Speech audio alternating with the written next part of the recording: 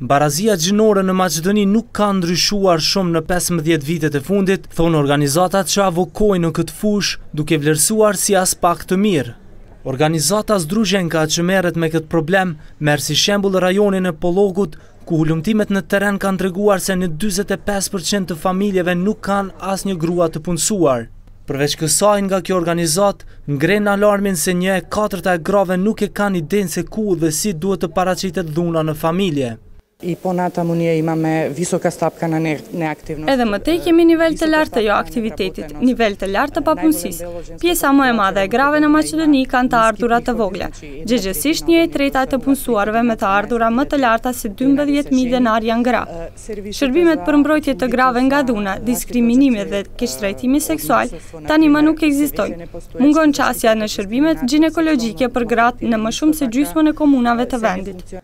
Edhe pse përfaqësimi i grave në listat e kandidatëve është i rregulluar me ligj, përfshirja e tyre në vendimmarrje zvogëlohet sa më shumë që ato ngjiten në hierarkinë institucionale. Kështu të dhënat e kësaj organizate tregojnë se nëntëdhjetë për qind e grave në Pollog Nuk janë përfshirë asnjëherë në bashkësi vendore dhe forume. Rreth shtatëdhjetë për qind e tyre nuk janë përfshirë në partitë politike, OJQ ose iniciativa qytetare. Hulumtimi po ashtu tregon se vetëm pesë për qind e grave marrin pjesë në planifikimin e buxhetit komunal. Nëse flasim për përfaqësimin e grave në politikë, janë të bëra disa përparime, kryesisht për shkak të detyrimeve ligjore që kanë për t'i vendosur në lista.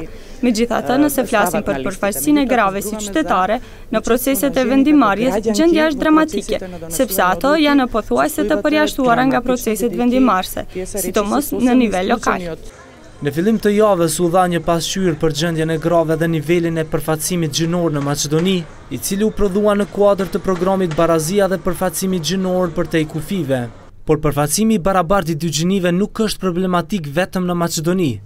Një prej studiuesve të këtij disbalanci në Kosovë thotë se kjo është sëmundje e gjithë rajonit, i cili vuan nga i njëjti mentalitet.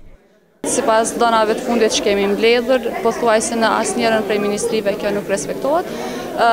Jo vetëm në rastin e grave, por ka edhe ministri të cilat kanë më shumë gra dhe më pak burra. Nëse shikojmë gjitha procesat që ndodhin në rajon, jo vetëm Kosovë, por edhe Maqedoni, Shqipëri, Serbi, Mal i Zi, Janë pak a shumë në të njëjtën fazë, jo vetëm sa i përket barazisë gjinore, por edhe integrimi evropian, edhe çështje të tjera, mentaliteti është gjithashtu pak a shumë në të njëjtin nivel.